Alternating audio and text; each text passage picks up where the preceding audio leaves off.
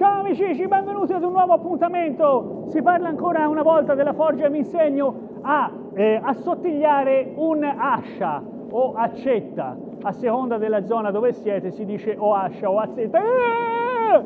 Quindi ci divertiamo oggi con questa accetta. Me l'ha portata un cliente, è un'accetta credo che abbia, boh, ci avrà 100 anni. Questo vuole che io gliela assottigli.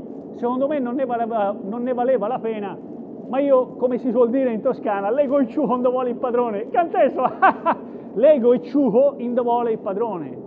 Capito? È un detto toscano. Almeno faccio anche un pochino di cultura generale. Va bene, dai, vi faccio vedere la zappa. Intanto io l'ho già messa nella foggia perché deve raggiungere più di mille gradi per diventare bella rossa, per lavorarci con il mio martello. Vi faccio vedere intanto la nostra zappa. Vedete? Come l'è tonda, questa l'è stata usata, usata e riusata. E allora io adesso la assottiglio un pochino.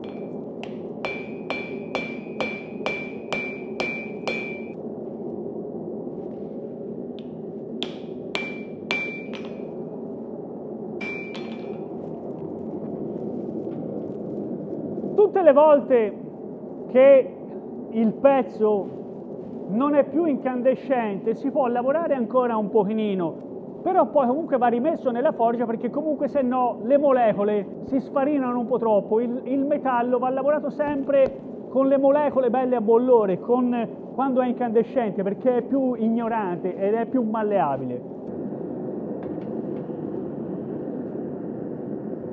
Sto andando ad assottigliarla perché era molto grossa nella parte più corposa e perché va assottigliata? Perché se no poi quando arrivi a tirare l'accettata nel legno lavora uso zeppa, invece deve proprio tagliare, più fine è e meglio taglia. Poi dopo la taglio letteralmente per lungo con la mola, la rifilo, cioè la faccio ancora più fine e la tempro, capito?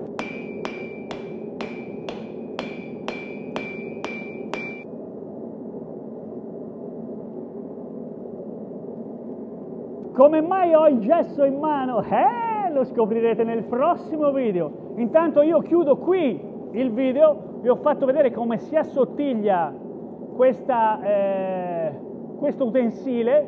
Questo lavoro si può fare anche con le zappe, con i pennati, eh, con tutti gli utensili da taglio. In questo caso ho usato quest'ascia qui perché il cliente mi ha portato quest'ascia vecchissima.